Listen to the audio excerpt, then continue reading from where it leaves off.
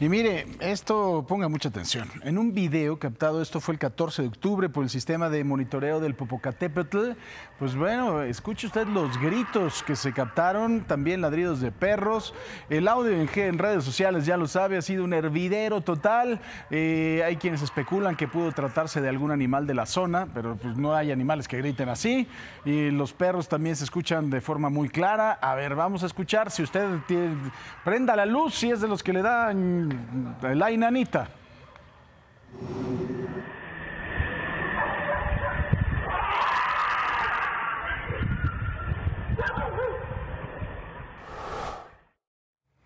Ay Dios, ¿cómo lo ve?